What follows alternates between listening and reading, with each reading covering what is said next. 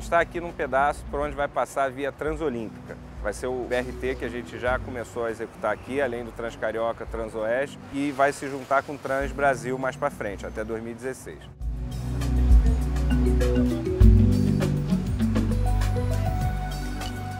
A gente vai conseguir interligar a Transolímpica com a Transbrasil em Deodoro, a Transcarioca na Estados Bandeirantes e a Transoeste lá no final da Salvador Allende na Avenida das Américas.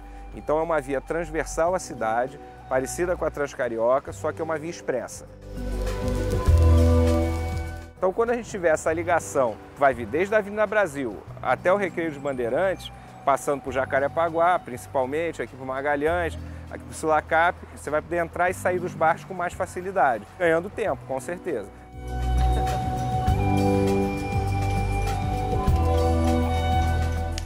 Grande lance a mais que a gente tem na Transolímpica é ter o BRT.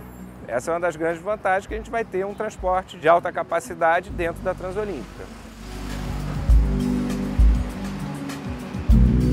A gente vai ter três faixas por sentido, sendo uma de cada para o BRT, onde você não vai ter cruzamentos em nível, você sempre vai ter que ter alças de acesso, alças de descida. Partindo aqui da Marechal Fontenelle em sentido o cemitério, a gente vai ter uma estação que vai descer aqui na Marechal Fontinelli, que é o grande polo gerador aqui de tráfego.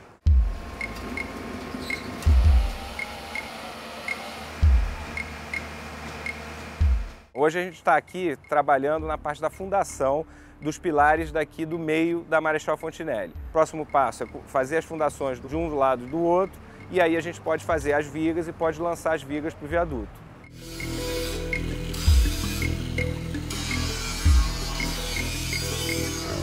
A ideia é a gente deve ficar aqui pelo menos mais uns seis meses fazendo esse viaduto.